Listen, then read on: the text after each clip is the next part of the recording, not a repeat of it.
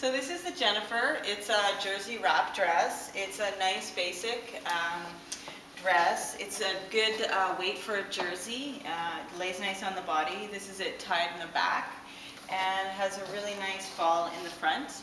And you can wear it in the day or the evening. And in the day, if you need a bit more coverage, it looks really nice with um, a tank top. And um, it's a really great basic and uh, it looks good on many body types.